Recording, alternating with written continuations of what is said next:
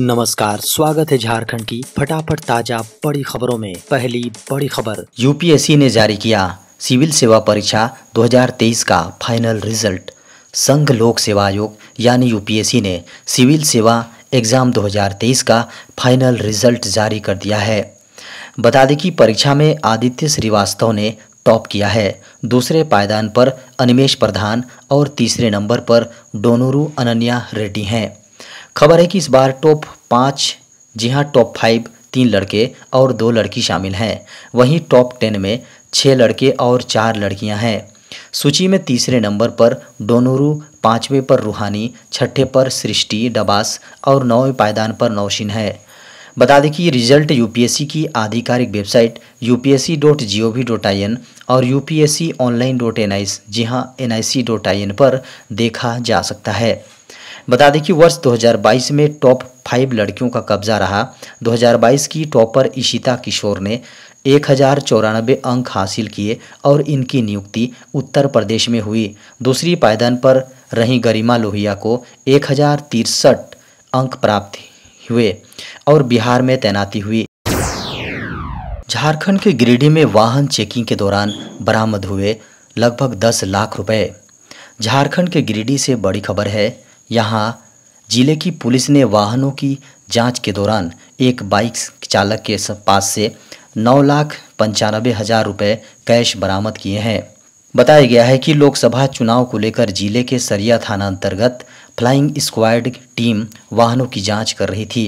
इसी दौरान एक बाइक की डिक्की की तलाशी में यह राशि मिली। बाइक चालक ने फ़िलहाल कैश के उचित स्रोत के बारे में जानकारी नहीं दी है। मामले की जानकारी इनकम टैक्स डिपार्टमेंट को दी गई है। बता दें कि लोकसभा चुनाव की घोषणा के बाद झारखंड के अलग अलग इलाकों में तलाशी और छापेमारी के दौरान चार करोड़ बत्तीस लाख रुपए नकद बरामद किए गए हैं। इस दिन जारी होगा झारखंड के दसवीं का रिज़ल्ट। झारखंड के दसवीं के छात्रों का इंतज़ार जल्द ख़त्म होने वाला है। दरअसल झारखंड एकेडमिक काउंसिल यानी जैक के द्वारा दसवीं या मैट्रिक एग्ज़ाम का रिज़ल्ट अप्रैल महीने के अंत तक जारी होने की संभावना है। बता दें कि इस दो वेबसाइटों का उपयोग करके छात्र अपना रिज़ल्ट देख सकेंगे। पहला है JAC dot Jharkhand dot G O V dot I N और दूसरा है Jhar result dot N I C dot I N छात्र अपने रोल कोड और रोल नंबर का उपयोग करके अपना रिज़ल्ट जारी होने के बाद देख सकते हैं। बता दें कि मैट्रिक परीक्षाएँ 6 फरवरी से 26 फरवरी 2024 तक आयोजित हुई थी। कक्षा 10 यानी मैट्रिक की परीक्षा में 4 लाख से अधिक छात्र उपस्थित हुए थे। परीक्षाएँ सुबह की पाली में सुबह नौ बजकर पैंतालीस मिनट, जी हाँ मिनट से दोपहर एक बजकर पाँच मिनट तक आयोजित की गई। प्रधानमंत्री नरेंद्र मोदी ने दी सफल यूपीएससी उम्मीदवारों को बधाई। संघ लोक सेवा आयोग ने सिविल सेवा एग्ज़ाम 2023 का अंतिम रिज़ल्ट जारी कर दिया है। बता दें कि कुल 1016 उम्मीदवारों का चयन हुआ है। इनमें से आईएएस के लिए 180, आईपीएस के लिए 200 और आईएफएस के लिए सैंतीस उम्मीदवारों का चयन किया गया है। वहीं बड़ी संख्या में ऐसे उम्मीदवार हैं जो सफल नहीं हो सके। प्रधानमंत्री नरेंद्र मोदी ने सफल सिविल सेवा एग्ज़ाम जी परीक्षार्थियों को बधाई देते हुए मंगलवार को कहा कि उनके प्रयास आने वाले समय में हमारे देश के भविष्य को आकार देंगे। खबरों की माने तो एक्स पर अपने पोस्ट में पीएम मोदी ने प्रतिष्ठित सरकारी सेवाओं के लिए असफल उम्मीदवारों से भी संपर्क किया और कहा कि उनके पास आगे सफलता की संभावनाएँ हैं। साथ ही यह भी कहा कि भारत अवसरों से समृद्ध है, जहाँ उनकी प्रतिभाएँ वास्तव में चमक सकती हैं। उन्होंने कहा कि मैं उन सभी को बधाई देता हूँ जिन्होंने सिविल सेवा परीक्षा 2023 को सफलतापूर्वक उत्तीर्ण किया है। उनकी कड़ी मेहनत, दृढ़ता और समर्पण रंग लाया है, जिससे सार्वजनिक सेवा में एक आशाजनक करियर की शुरुआत हुई है। उनके प्रयास आने वाले समय में हमारे देश के भविष्य को आकार देंगे। उन्हें मेरी शुभकामनाएँ। होगी व्हाट्सएप में एआई की एंट्री मिलेगा हर सवाल का जवाब। आर्टिफिशियल इंटेलिजेंस तेज़ी से मानव जीवन में अपनी जगह पर जहाँ बना रहा है। इन दिनों टेक्नोलॉजी के क्षेत्र में अगर किसी टेक्नोलॉजी की सबसे अधिक चर्चा है तो वो है एआई अब आपके एक कदम और करीब आ गया है। अब एआई ने लोकप्रिय मैसेंजर प्लेटफॉर्म व्हाट्सएप में भी एंट्री कर लिया है। मेटा ने व्हाट्सएप पर एआई फीचर को रोल आउट करना शुरू कर दिया है। फेसबुक की पेरेंट मेटा के लोकप्रिय मैसेजिंग ऐप व्हाट्सएप में एआई की टेस्टिंग शुरू हो गई है। बता दें कि यूज़र्स अब अपने प्रश्नों के जवाब एआई के माध्यम से व्हाट्सएप पर भी पा सकते हैं। कंपनी ने कई यूज़र्स को व्हाट्सएप एआई फीचर का एक्सेस देना शुरू कर दिया है।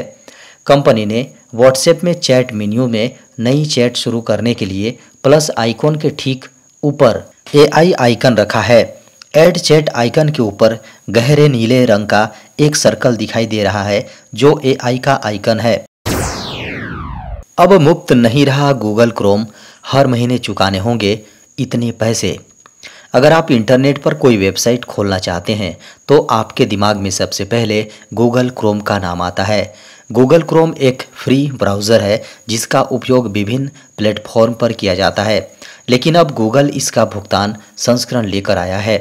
हम ऐसा इसलिए कह रहे हैं क्योंकि गूगल ने मुफ़्त और भुगतान विकल्पों के साथ क्रोम इंटरप्राइज प्रीमियम नाम से एक नया संस्करण पेश किया है।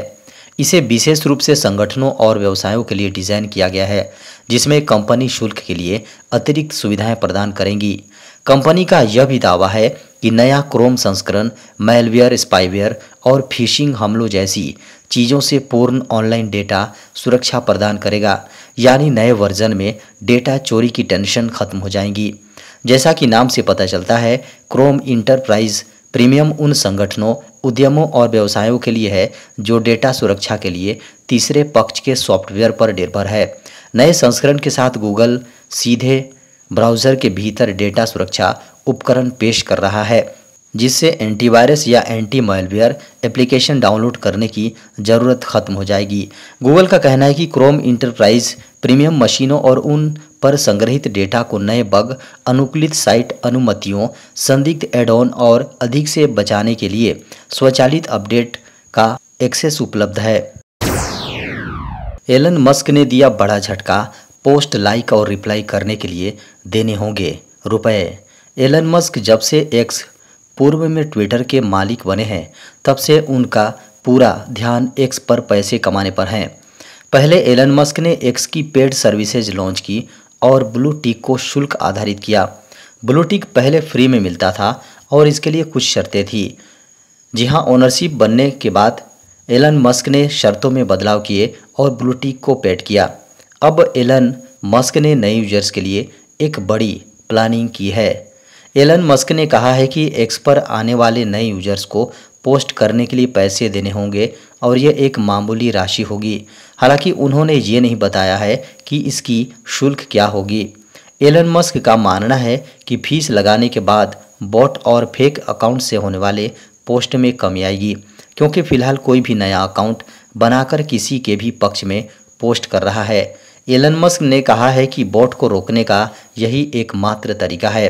एक्स की नई पॉलिसी के मुताबिक एक्स पर पोस्ट करने, किसी के पोस्ट को लाइक करने, किसी पोस्ट को बुक मार्क और किसी पोस्ट पर रिप्लाई करने के लिए पैसे देने होंगे। फ्री में आप सिर्फ़ किसी अकाउंट को फॉलो कर सकेंगे।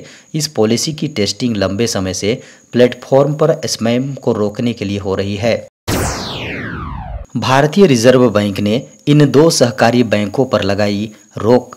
आरबीआई यानी भारतीय रिज़र्व बैंक देश के सभी बैंकों या एनबीएफसी के कामकाजों पर नज़र बनाए रखती है। जब भी कोई बैंक आरबीआई के नियमों का उल्लंघन कर अपनी मनमानी करता है तो आरबीआई उस पर जुर्माना लगा सकता है।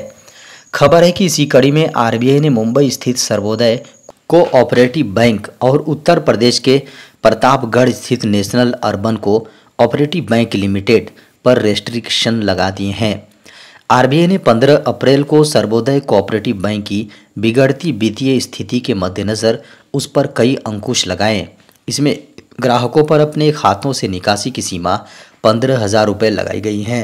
खबरों की माने तो एलिजिबल डिपॉजिटर्स केवल deposit insurance and credit guarantee corporation से अपनी जमा राशि की पाँच लाख रुपए तक की जमा बीमा दावा राशि प्राप्त करने के हकदार होंगे।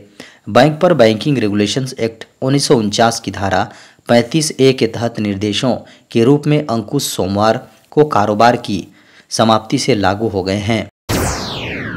व्हाट्सएप कर रहा लिंक प्राइवेसी फीचर की टेस्टिंग। व्हाट्सएप ने कथित तौर पर एक नया प्राइवेसी फीचर रोल आउट करना शुरू कर दिया है। इससे यूज़र्स को अपनी चैट में साझा किए गए लिंक का गोपनीयता स्तर चुनने में मदद मिलती है। इस फीचर की अभी घोषणा नहीं की गई है, लेकिन इसे कुछ बीटा टेस्टिंग अकाउंट्स पर देखा गया है। कहा जा रहा है कि व्हाट्सएप ऐप के अंदर एक नया वीडियो व्यू फीचर भी तैयार कर रहा है। एक हालिया रिपोर्ट में दावा किया गया है कि कंपनी लिंक्ड डिवाइसों के लिए लॉक्ड चैट फीचर पर काम कर रही है और इसके आगामी अपडेट में उपलब्ध होने की संभावना है। व्हाट्सएप ने शुरुआत में मई 2023 में स्मार्टफ़ोन के लिए चैट लॉक फीचर पेश किया था।